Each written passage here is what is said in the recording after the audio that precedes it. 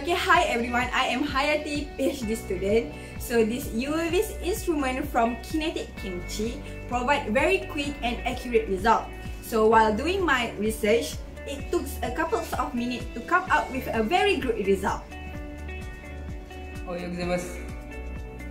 私は寿司です。私はの最後はあなたが、えー、キネティキムチ。あなたとこのままおさばるするより死ぬのがいいわ。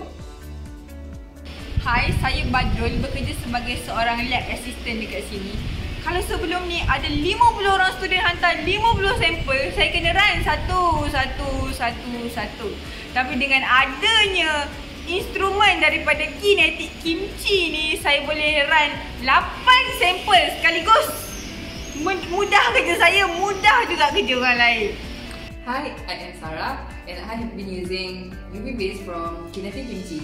It has a very good in terms of its accuracy, its precision, and it's very easy to use. So I choose Kinetic Kimchi.